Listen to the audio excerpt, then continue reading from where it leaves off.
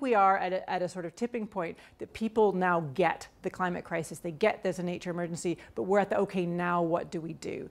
And I see NatureScot as having the leadership role in that nature emergency in Scotland because NatureScot is the only organisation with the mission to protect and conserve and restore nature for the whole country and who can play that facilitation role to bring together land managers, other organisations, e-NGOs and your own expertise to make that happen. So it's exciting to me that NatureScot is in this position that you have a leadership role, that you have that sort of vision. And I guess we are all together now most concerned about delivery. How do, where, where are our priorities? And I think the corporate plan is good. I'm excited about it because it focuses on the key issues. And you know, as you say, it can feel overwhelming, um, the climate crisis, the nature emergency, but we do know what the what the most important things are. You know, land use change. That that's the that's the peatland stuff. You know, tackling the biodiversity crisis. That's herbivore pressure. We know that's deer management. So there are right away. I'm not saying those things are easy to do,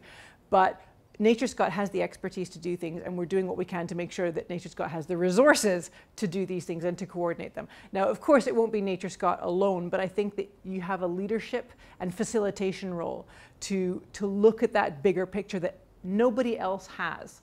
Um, and without the sort of balance of commercial interests in the same way that other, um, you know, obviously we, we need to have a thriving, thriving economy in Scotland. I'm not saying that's not the case, but NatureScot doesn't have those internal commercial pressures that say, for example, forestry do or agriculture do, so that you're able to take a much more uh, step back picture um, and focus on the, on the end game. So I was very excited that the corporate plan lines up with um, the direction of travel that I want to see on our biodiversity strategy, and that is evidence-based, science-based. What do you know? Where do we need to get to? How do we meet our goal of stopping biodiversity decline by 2030 and turning it around um, so that we are restoring nature, helping Mother Nature to heal by 2045? And I absolutely think that Nature NatureScot's not only in the lead on that in terms of its vision, but in, on the ground in terms of delivery, in terms of hectares of peatland restored and, and you know, hectares of, hectares of trees planted.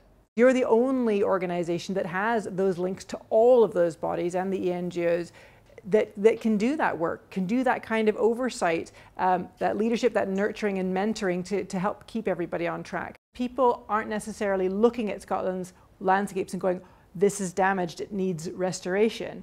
But when we have done a restoration project and are able to say, this is what healthy riparian planting looks like. This is what agroforestry looks like. Then we can inspire people. So I think that is just the start. And my hope is very much that with Nature, NatureScot in the leadership role, that we can find you know, the resources across the country in terms of private investment, in terms of you know, land managers, doing their bit on their bit of land. And of course, our national parks have a leadership role to play as well, so that we can, I guess, be a beacon for the country and show, and show the way and show that we can have thriving agriculture industry, thriving forestry, and at the same time tackle the nature emergency, that these are not either or, that it's an and.